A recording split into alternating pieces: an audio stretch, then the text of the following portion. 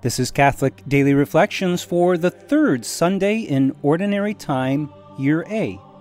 Today's reflection is entitled Light in the Midst of Darkness.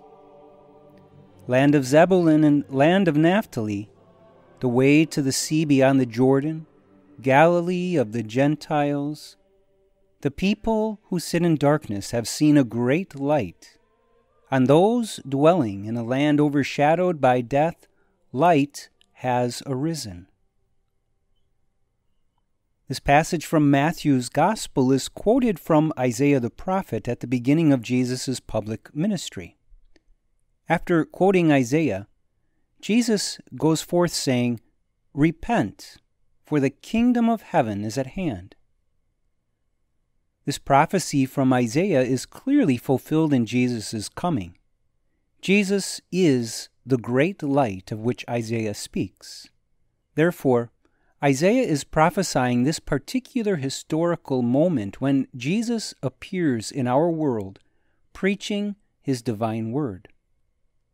But Isaiah's words should not only speak to us about this one time historical event of the coming of Christ and his public ministry, it should also reveal to us the fact that Jesus is the great light who continues to shine in whatever darkness we encounter.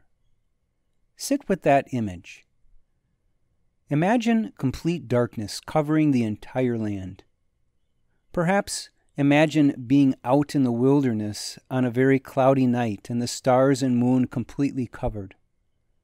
Imagine then the clouds parting as the sun immediately begins to rise.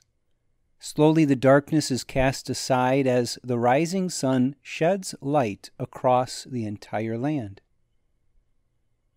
This is not only an image of what happened long ago when Jesus came and began his ministry.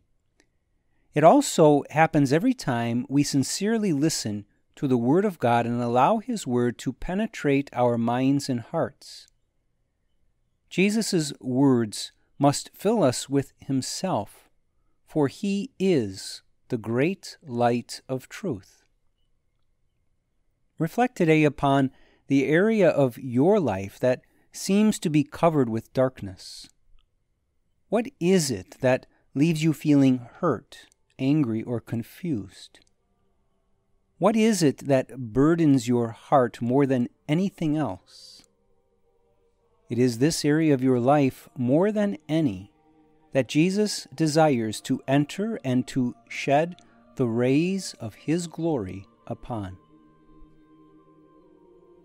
Let us pray. Lord, come to me and enter the darkness of my mind and heart. Come and cast aside the sorrow and pain that I feel this day. Bring clarity to my confusion and replace it with the bright knowledge of your loving presence. Jesus, I trust in you.